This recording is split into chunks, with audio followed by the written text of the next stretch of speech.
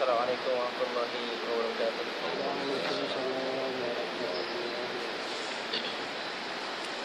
إن الحمد لله نحمده ونستعينه ونستغفره ونعوذ بالله من شرور أنفسنا ومن سيئات أعمالنا من يهده الله فلا مضل له ومن يضلل فلا هادي له أشهد أن لا إله إلا الله وأشهد أن محمدا عبده ورسوله لا نبي ولا رسول بعده. قد قال الله تعالى في القرآن الكريم وبعد أعوذ بالله من الشيطان الرجيم. يا أيها الذين آمنوا اتقوا الله حق تقاته ولا تموتن إلا وأنتم مسلمون.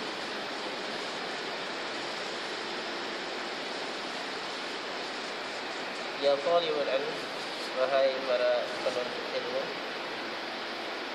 Setelah kita menyatakan puja dan syukur kita kepada Allah Subhanahu wa taala dan setelah bersolat kepada Rasulullah wasallam mari kita lanjutkan kajian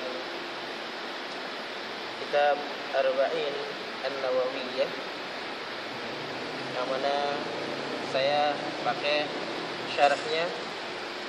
Al-Imam. Ada tiga syarah ya. Kitabnya ini syarah Arba'in An-Nawawiyah.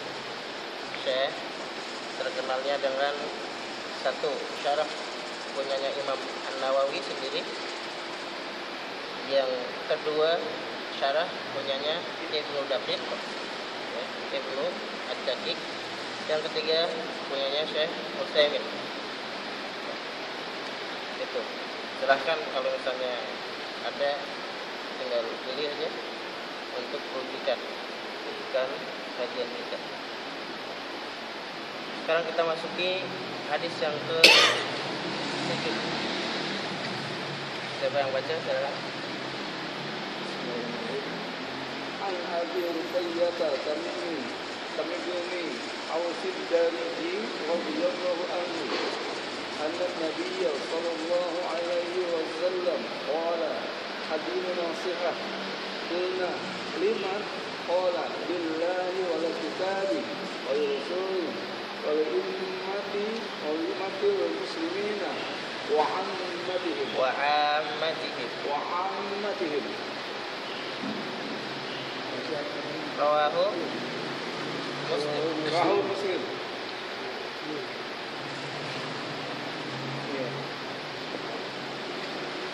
Abu Ruqayyah tadi bin Aus dari Jaraki radhiyallahu anhu Bapak Nabi Shallallahu Alaihi Wasallam bersabda agama itu adalah nasihat.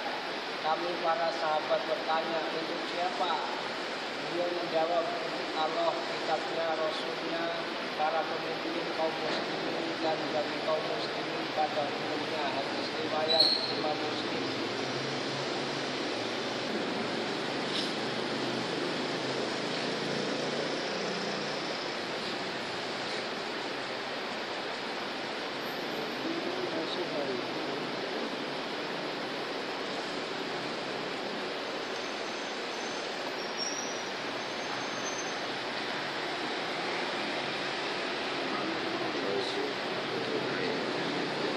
ad-dinul nasihat Ya, ad-dinul an-nasihat Liman untuk siapa? Nasihat Untuk siapa? Yang pertama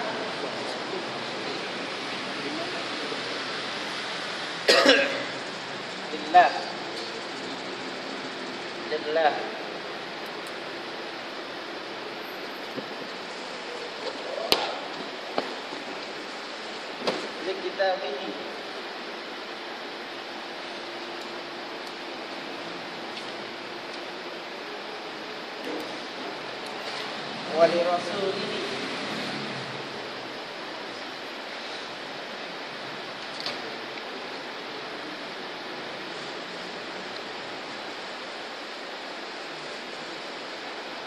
ولأئمة المسلمين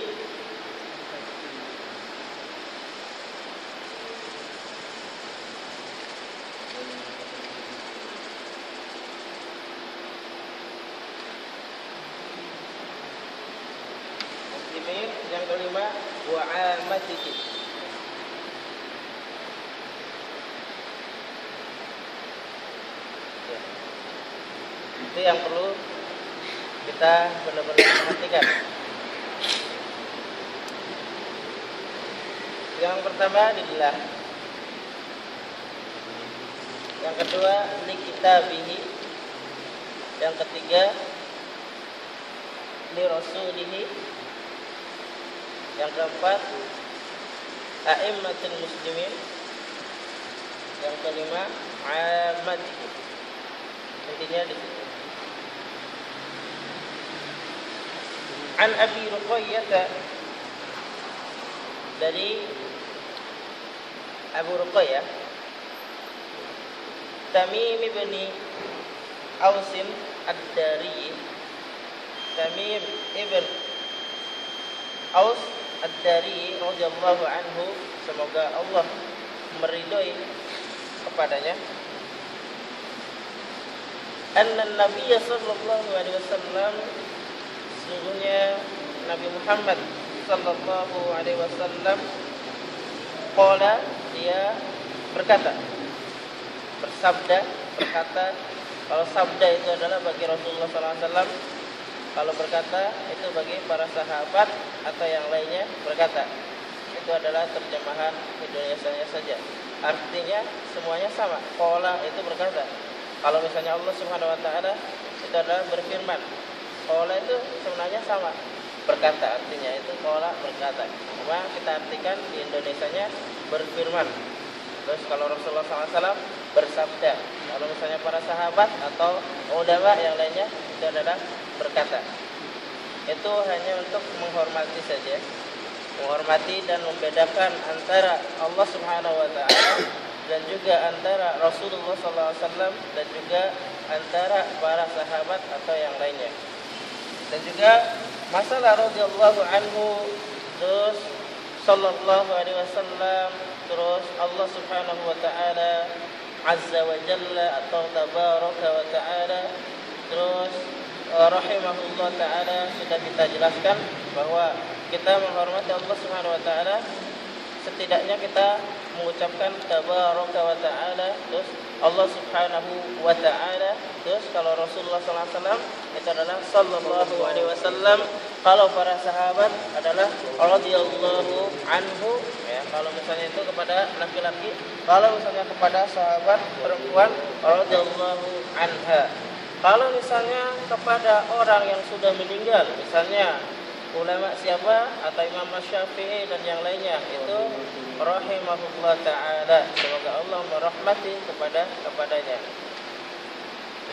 Dan kalau misalnya bagi yang masih hidup misalnya Syekh siapa? Syekh Fauzan atau yang lainnya ya.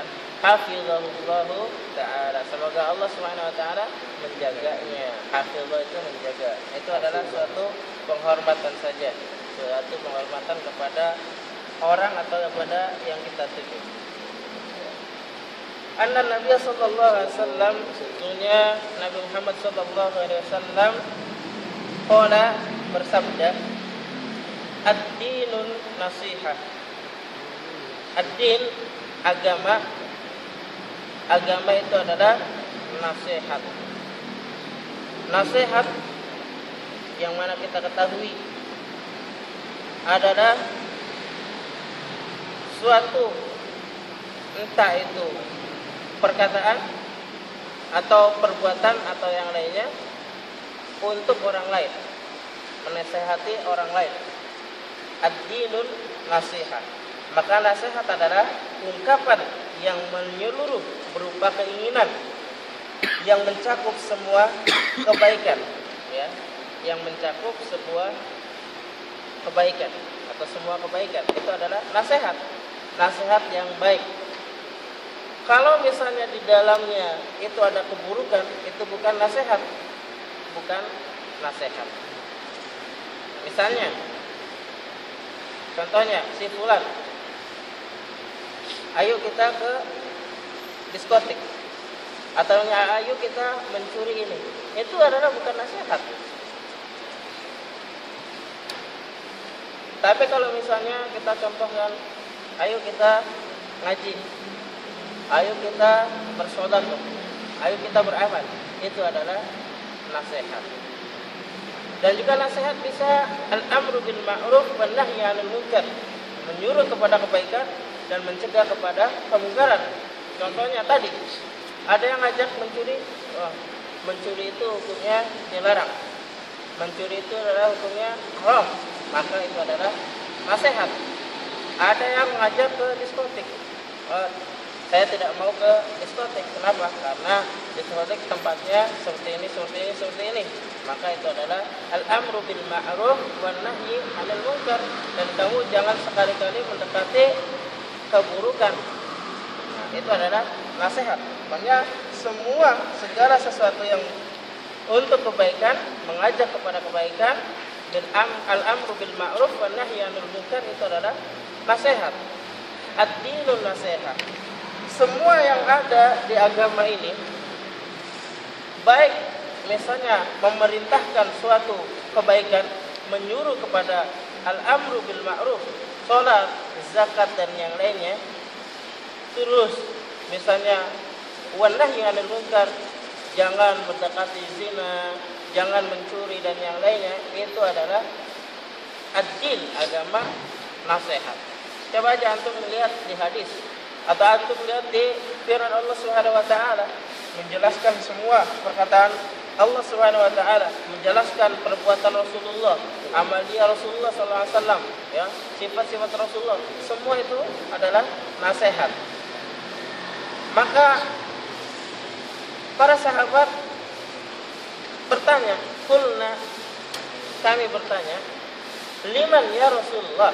Liman bagi siapa nasihat tersebut? Maka Rasulullah SAW menjawabnya Qala Rasulullah SAW bersabda Illa kepada Allah Subhanahu wa taala wali rasulihi dan kepada wali kitabihi dan kepada kitabnya wali rasulihi dan kepada rasulnya. Wali a'immatil muslimin dan kepada a'immah para pemimpin kaum muslimin. Wa amatihim. Amah itu adalah rakyat. Rakyat atau kaum muslimin semuanya. Ad-dinun itu yang pertama kepada lillah kepada Allah Subhanahu wa taala wa li rasulihi dan kepada Rasulullah sallallahu alaihi wasallam. Wali kitabihi dan kepada kitabnya. Wali a'immatil muslimin kepada para pemimpin. Wa amatin dan kepada para rakyat. Ya, atau kaum muslimin. Nah bagaimana caranya menasihati di dalam masalah seperti itu? Maka Imam An-Nawawi dan Ibnu Daqiq hampir sama menjelaskan di dalam kitabnya. Dan Syekh Utsaimin juga menjelaskan di dalam kitabnya hampir sama. Yang mana an-nasihatu lillahi ta'ala nasihat kepada Allah Subhanahu wa taala fama'naha yansarifu ila al-iman billah wa nafyu asy-syarik anhu wa tarkul ilhad fi sifatihi sifatil kamali wal jalal wa tanzih سبحانه وتعالى عن جميع أنواع النقائص والقيام بطاعته واجتناب معصيته والحب فيه والبغض فيه وشكره عليها والإخلاص في جميع الأمور والدعاء إلى جميع الأوصاف المذكورة والحث عليها lillah bagi Allah Subhanahu wa taala bagaimana? Maka Imam An-Nawawi dan para ulama yang lainnya di antaranya Ibnu Daqiq bagaimana? Dijelaskan di sini wa. Kita menghilangkan kesyirikan. Menghilangkan yang menyekutukan Allah Subhanahu wa taala. Yang menjadikan Allah Subhanahu wa taala sesembahan yang berhak disembah hanya Allah ada tandingannya atau beribadah kepada yang lainnya. Kita menghilangkan seperti itu. Wastinabu maksiatihi dan kita meninggalkan menjauhkan maksiat kepada Allah Subhanahu wa taala. Bermaksiat kepada Allah Subhanahu wa taala di antaranya apa? Tidak taat kepada peraturan Allah Subhanahu wa taala. Contoh yang lain apa? Pak Hasan bermaksiat kepada Allah Subhanahu wa taala. Melanggar peraturannya. Melanggar peraturannya, Perintahnya dilanggar. perintahnya dilanggar. Contohnya, Ya, misalnya disuruh sholat nggak sholat. ya disuruh sholat nggak sholat. Ya. Suruh ngaji alasan. Wal bugdu fihi dan wal hubbu fihi cinta kepada Allah Subhanahu wa taala. Cinta kepada Allah Subhanahu wa taala contohnya Pak Marsono. Lalu mengikuti apa yang diperintahkan dan menjauhi apa yang dilarang. Contohnya mengerjakan sholat, menjauhi kemaksiatan. wa syukruhu 'alaiha dan bersyukur kepada kepada Allah Subhanahu wa taala. Contohnya Mas Rifki bersyukur kepada Allah Subhanahu wa taala, Menjalankan perintah. menjalankan perintah atas kenikmatannya. Contohnya diberi kesehatan. Kita masih bisa thalibul ilm, mencari ilmu Allah Subhanahu wa taala. Masih bisa menjalankan sholat berjamaah. Itu adalah bersyukur atas kenikmatan Allah Subhanahu wa taala. Wal wal ikhlasu fi jami'il umur dan ikhlas fi jami'il umur pada semua hal ya, berjihad dan yang lainnya itu harus ikhlas karena Allah Subhanahu wa taala.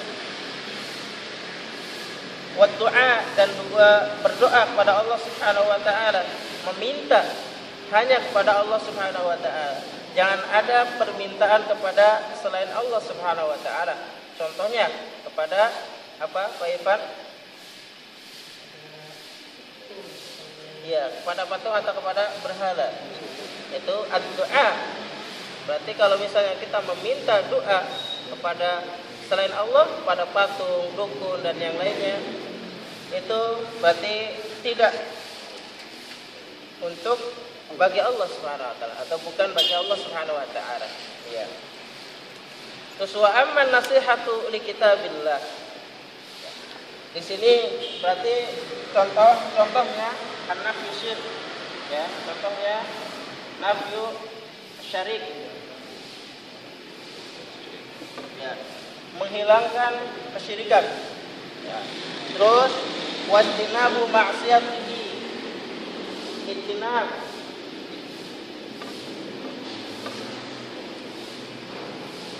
maksiat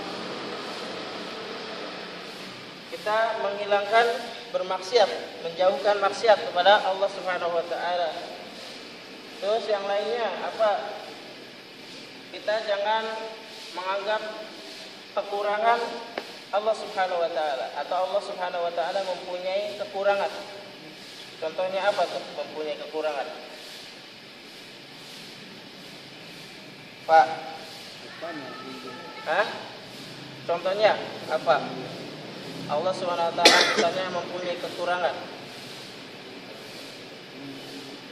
Menganggap tidak adil. Menganggap tidak adil. Ya. Dikit-dikit ah, Allah nggak adil kalau misalnya nggak dikasih seperti ini. Nah, itu kita hilangkan dari seperti itu. Hilangkan bahwa Allah taala mempunyai kal kamal, sifat yang sempurna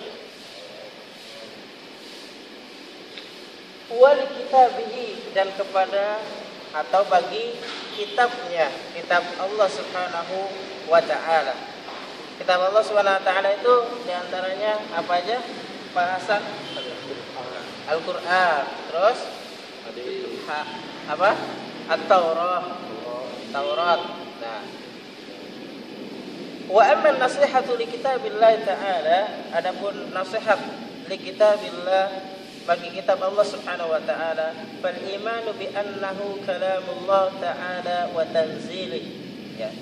Kita harus beriman kepada Allah Subhanahu wa taala bahwa kitabnya itu adalah kalamullah yaitu perkataan Allah Subhanahu wa taala.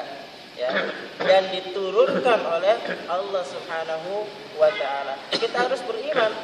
Jangan sampai mengatakan bahwa Al-Qur'an itu adalah makhluk. Atau misalnya yang mengatakan Al-Quran itu adalah perkataan Nabi. Atau Al-Quran itu adalah perkataan manusia. Bukan. Atau Al-Quran itu adalah perkataan malaikat. Bukan. Tapi Al-Quranu kalamullah subhanahu wa ta'ala. Al-Quran atau kitab yang diturunkan oleh Allah subhanahu wa ta'ala itu adalah perkataan kalamullah perkataan Allah subhanahu wa ta'ala La yushbihu syai'un min kalamin nas. Tidak ada yang menyamai sesuatu pun dengan min kalamin nas dari perkataan manusia. Wala yuqaddiru ala misli ahadin min al-khalqi tilawati haqq tilawati wa tahsini wal khusyu' indaha. Dan tidak ada yang menyerupai, tidak ada yang mampu menyamai terhadap kitabnya Allah Subhanahu wa taala. Perkataan Allah Subhanahu wa taala yang mana kitab Allah Subhanahu wa taala kita harus besar-besarkan. Kita harus agung-agungkan. Yang mana Allah Subhanahu wa taala juga menjelaskan bahwa jikalau kita membaca Al-Qur'anul Karim itu termasuk ibadah, termasuk tilawah kepadanya haqqa tilawati kita menganggapnya bahwa kita termasuk orang yang khusyuk di dalam membaca firman Allah Subhanahu wa taala. Di dalam membaca kalamullah, perkataan Allah Subhanahu wa taala. Dan mana ada jikalau misalnya membaca kitab yang lain dijadikan ibadah. Enggak ada. Kecuali Al-Qur'an, kecuali kalamullah, firman Allah Subhanahu wa taala. Wa tafakkur fi ajaibihi dan kita harus bertafakkur fi ajaibihi. Kita harus berpikir, memikirkan tentang kejadian-kejadian yang ajaib.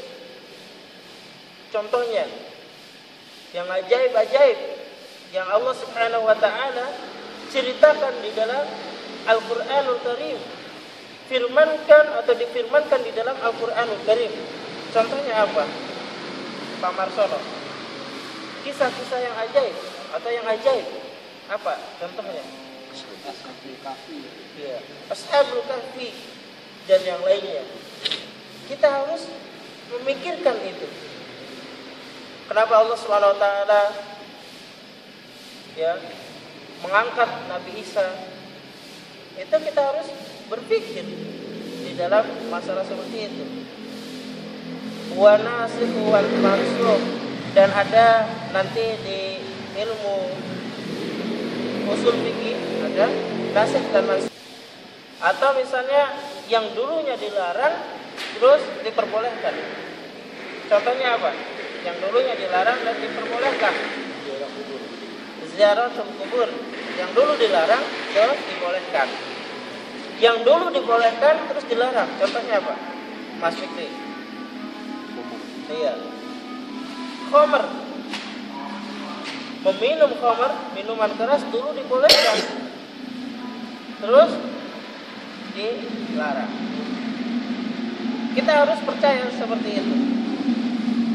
Kita harus percaya di dalam Al-Quran atau kitab Allah Subhanahu wa Ta'ala menjelaskan tentang masalah seperti itu. Nasih mansuh dan tentang keajaiban-keajaiban yang ada di dalam Al-Quran. Itu adalah nasihat li kitabillahi ta'ala. Berarti ini al-imanu. Apa? Al-imanu bihi ya. al-iman. Beriman. Bihi. Atau fihi bisa tentang misalnya ajaibnya keajaiban-keajaiban yang terjadi wal amal ya. Al imanu bi annahu kalamullah. Beriman bahwa itu adalah kalamullah. Kalamullah. Ya. Bi annahu al imanu bi annahu kalamullah. Bahwa itu adalah perkataan Allah Subhanahu wa taala. Firman Allah Subhanahu wa taala. Wa amma nasihatu li rasulih sallallahu alaihi wasallam. Adapun nasihat bagi Rasulullah sallallahu alaihi wasallam adalah fatasdiqu ala risalah wal imanu bi jami'i ma jaa bihi wa ta'atu bi amrihi wa nas wa nusrati hayyan wa maitan ya di antaranya adalah kita membenarkan terhadap risalahnya ya. Risalah itu adalah pengutusan bahwa Nabi Muhammad itu adalah Rasulullah, adalah utusan Allah Subhanahu wa taala. Wal imanu bi jami'i ma jaa bihi. Dan kita harus beriman terhadap apa yang datang dengannya dengan risalah tersebut dengan perintah Allah Subhanahu wa taala dengan utusan-utusan yang Allah Subhanahu wa taala utus kepada Nabi Muhammad kepada rasulnya. Wa ta'atihi fi amrihi wa nahihi dan kita harus taat kepada perintah Rasul. Ya. perintah Rasul Rasul Allah Subhanahu wa taala. Perintah Rasulullah wasallam. Dan kita harus patuh terhadap larangan Rasulullah sallallahu alaihi larangan itu apa? Contohnya Baifat. Larangan Rasulullah wasallam. Misalnya Rasulullah wasallam melarang apa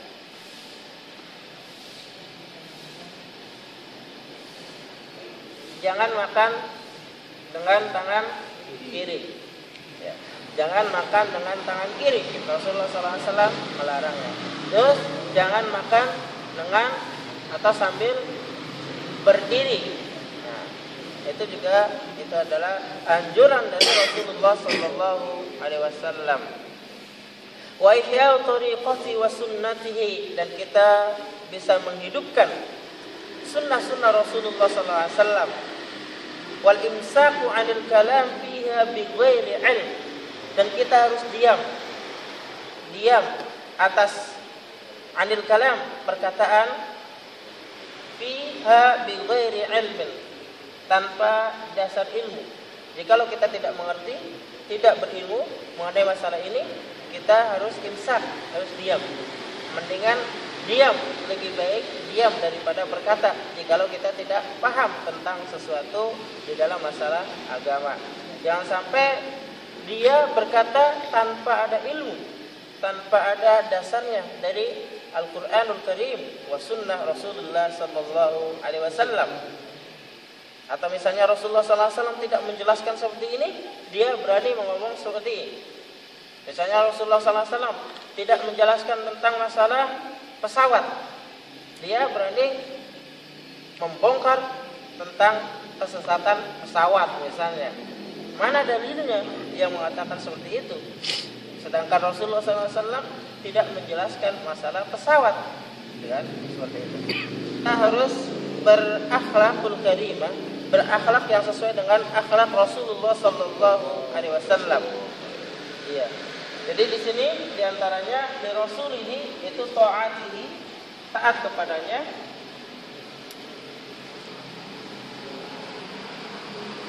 Terus al-imanu risalati beriman atas risalahnya, atas dik ala risalah. Tasdik risalah.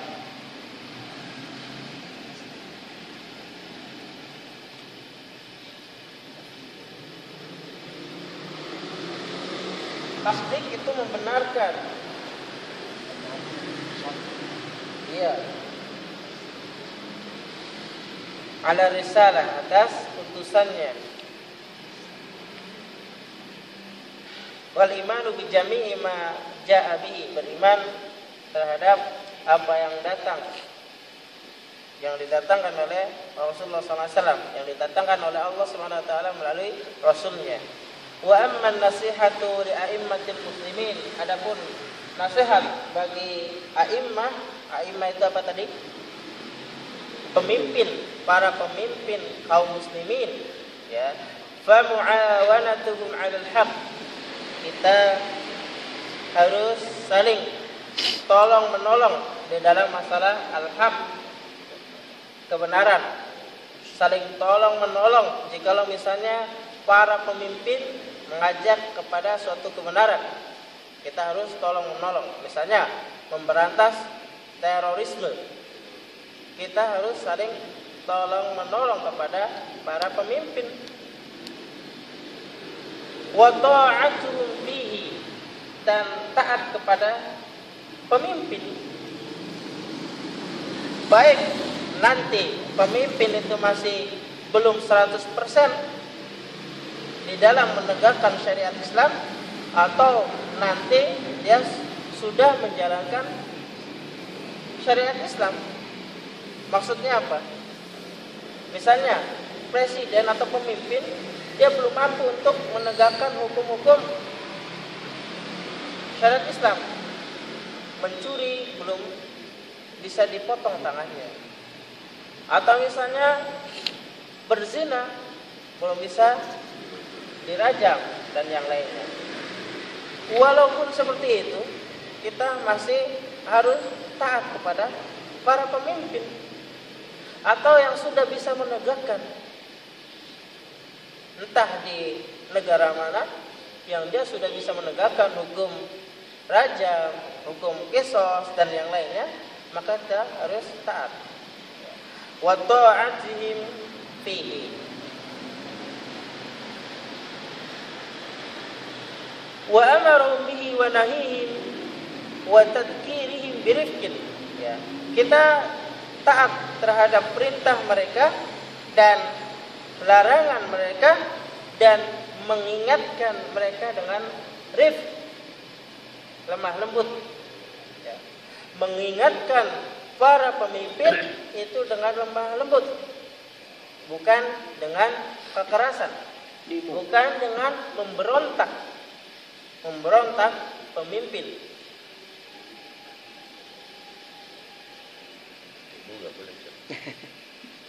demo nggak boleh watarkul khuruj alaihim dan meninggalkan khuruj keluar dari pemimpin tersebut. Jadi antaranya seperti itu.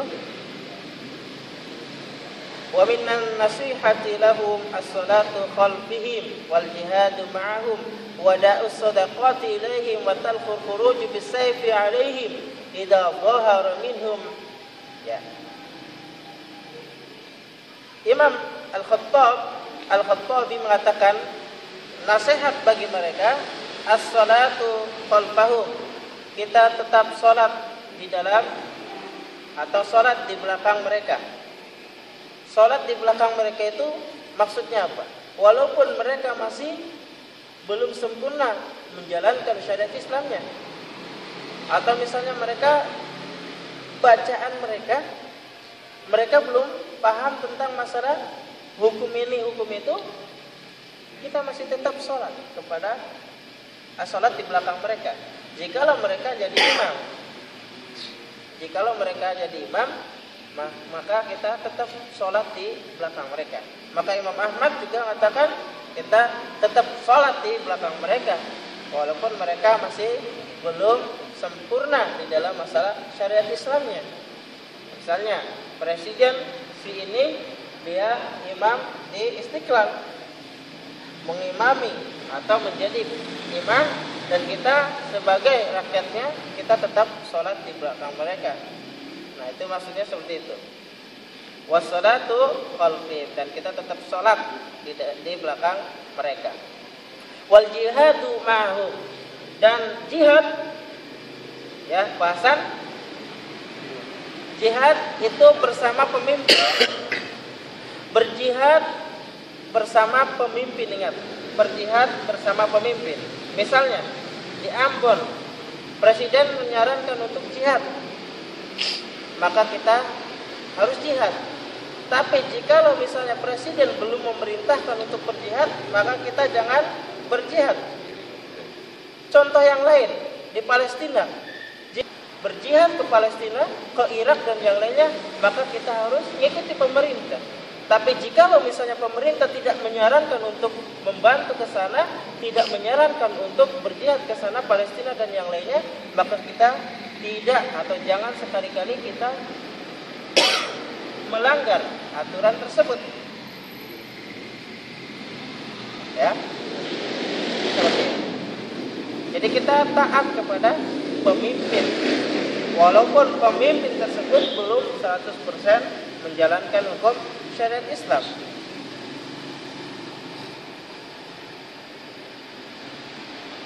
Watarkul khuruju bisayf alaihim dan tinggalkanlah keluar dengan membawa senjata kepada mereka. Misalnya keluar bawa apa? Golok. Keluar membawa batu-batu. Keluar membawa tulisan-tulisan yang lainnya ke jalan-jalanan. Menjelek-jelekan para pemimpin, presiden dijelek-jelekan yang lain. Itu kita harus meninggalkan masalah seperti itu. Maksudnya apa itu tadi? Demo. Kita harus tinggalkan masalah seperti itu.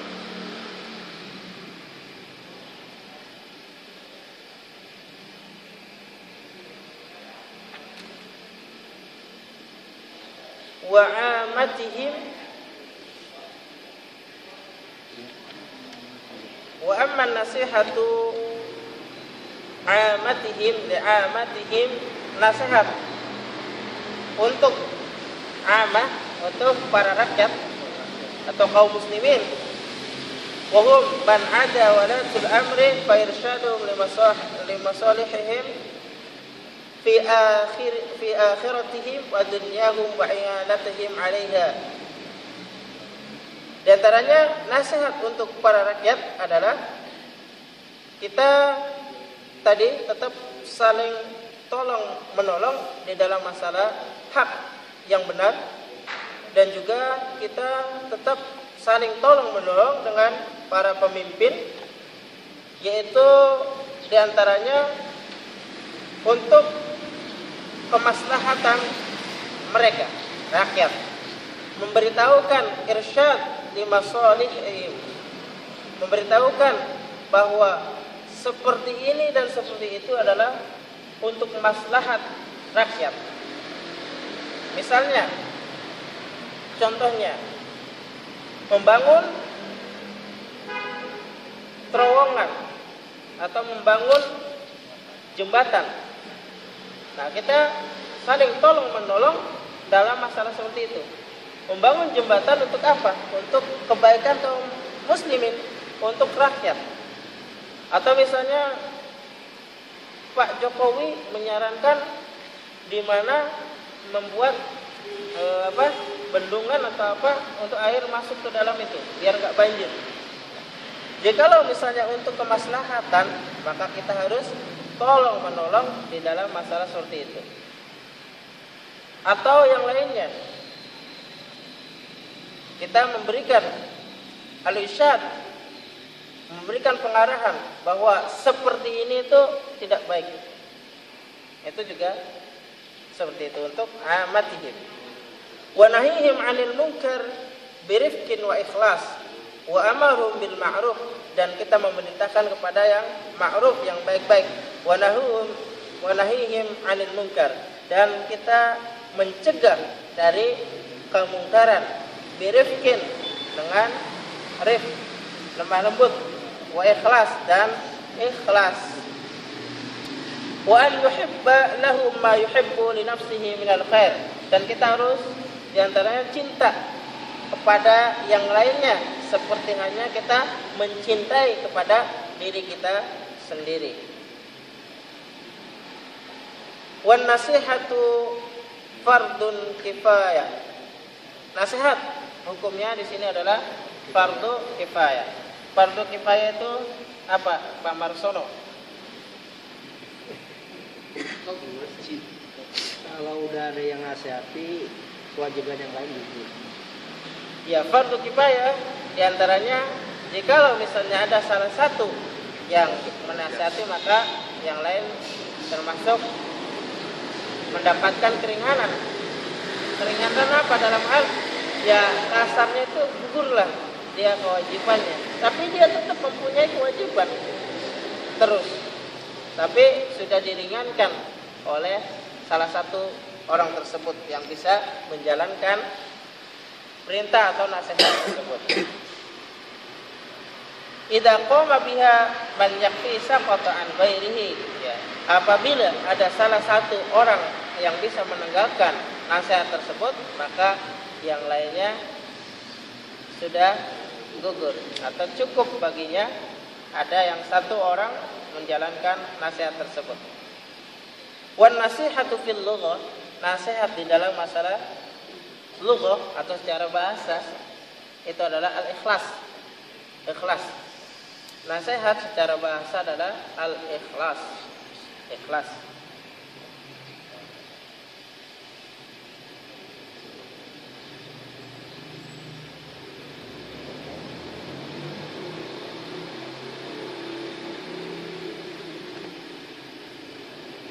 Tambahan adalah Syekh Musaimin bahwa nasihat lillahi azza wa jalla an-nasihatu li dinihi bil qiyami bi awamirihi.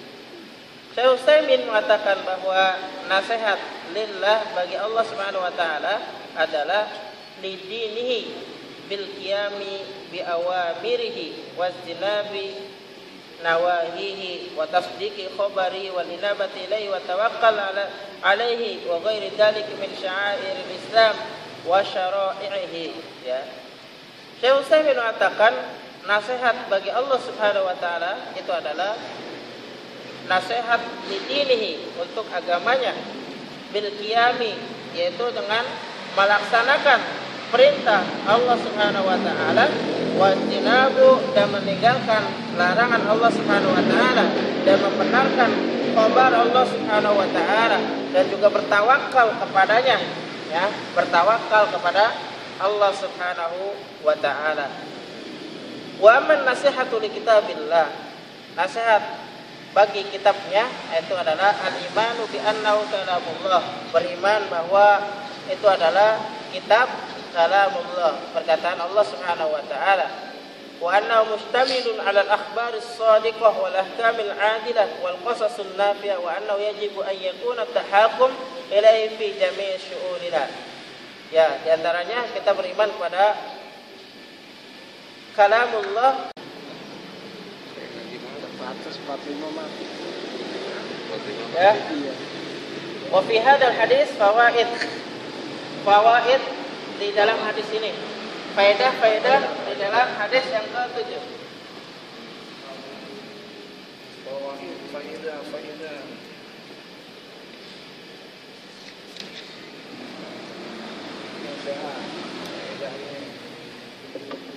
Dikit-dikit belajar bahasa Arab wa fi hadzal hadis dan di dalam hadis ini fawaid faedah-faedah.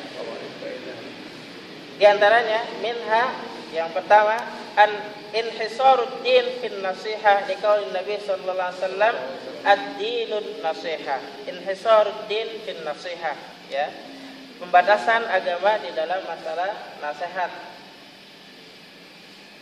Minha Nah, sini ada minhanya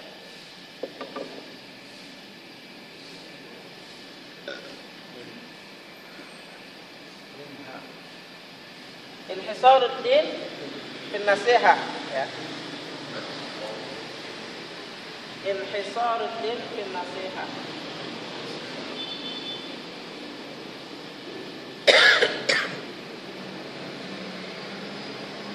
Inhisar itu artinya pembatasan.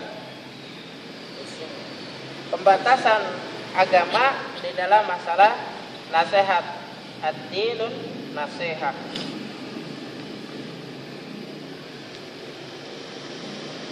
Yang kedua, anna mawatin anna mawatin nasihat khams.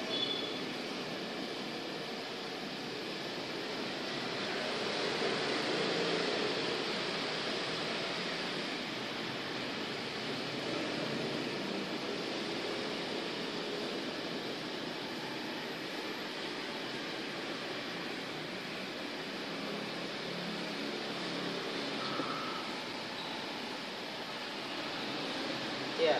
Anna mawatin nasihat khams. Anna sesungguhnya mawatin itu ada poin atau titik poin. Titik poin nasihat itu ada lima.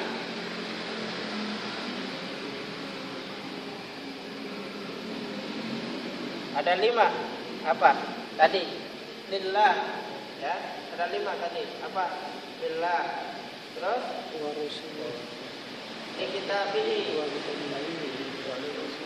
Ya.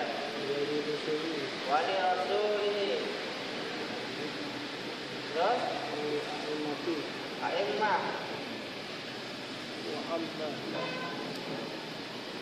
Terus? Amma. Nah, itu lima. Satu, dua, tiga, empat, lima. Khamsun itu adalah lima. Khamsun. Ya. Titik poin di dalam nasihat di dalam hadis tersebut ada lima. Billah bagi Allah, di kitabihi bagi kitabnya, wali rasuli dan bagi rasulnya, wali a'immah bagi para pemimpin, terus wa amatin dan bagi rakyatnya.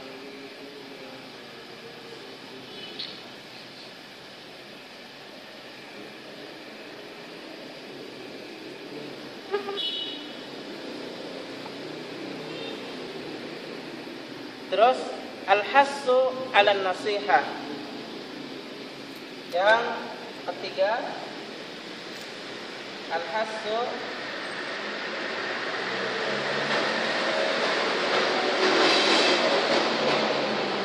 Al-hassu 'ala nasihah. Al-hassu 'ala nasihah itu artinya anjuran.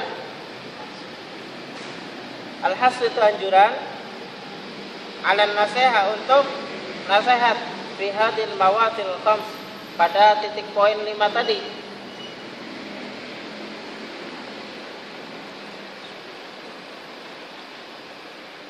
Kenapa? Karena li'anha idha kanat hadihin hiyad din fa innal insana bila syaf yuhafid ala dinihi wa tamassak bihi.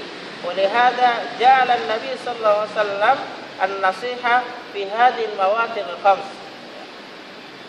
Jikalau misalnya di dalam masalah agama ini adalah nasihat,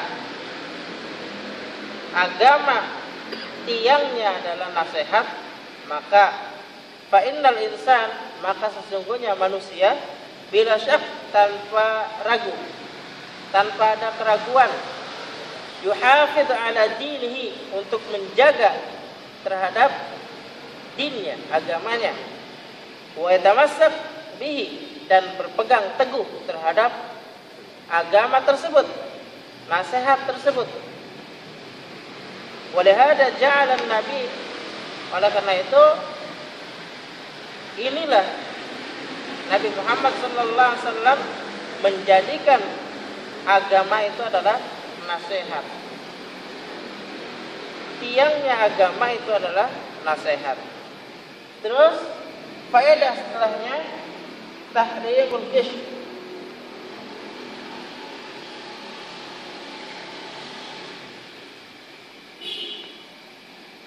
Tahrimu al-gish. Tahrimul gish itu adalah al-gish penipuan pemalsuan, pengkhianatan, tipu daya itu diharamkan. Lianna idza kanat an-nasihat din fal gishu diddun nasihat.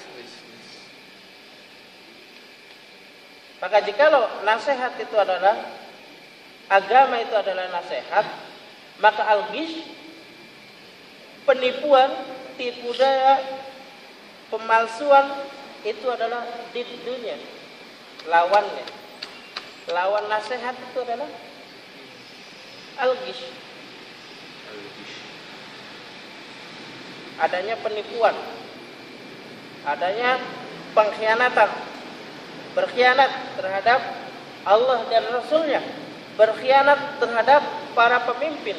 Berkhianat terhadap para rakyat. Juga penipuan, nipu, nipu rakyat, nipu pemimpin dan yang lainnya.